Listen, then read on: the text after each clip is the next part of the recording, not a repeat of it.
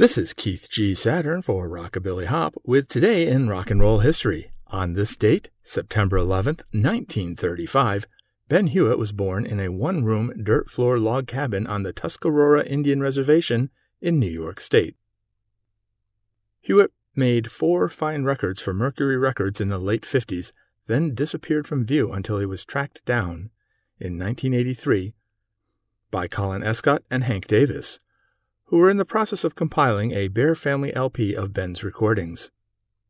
He's sometimes described as a Canadian artist. Though he did live close to the Canadian border for much of his life, he was in fact a U.S. citizen. For more information, see the comments and description.